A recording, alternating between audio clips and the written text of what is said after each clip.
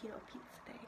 So keto pizza is a little bit difficult for the beginners to make, but once you do it a lot, it's easy to make. So the first ingredient is this. Of course, almond flour. This is to make it soft, and uh, this is the seasoning.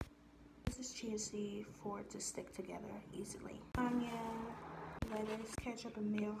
The sauces that I'm going to be using. Okay, and pizza sauce. Then we got some jalapeno, and I like to add butter so people can have the extra fats. And a little tomato. And of course the hamburger meat. So I made a lot, so this of course leftovers, but my dad wants another one, so here we go. First thing you have to do is grab a bowl and a spoon, of course. Depending on how big you want your pizza, yeah, you know. You can use measuring cups, but since I've been doing this a while, I know the amount, so I don't have to use it. This is enough for a decent sized pizza. Some chia seeds and just put a little bit on here. Now it's time for the seasonings.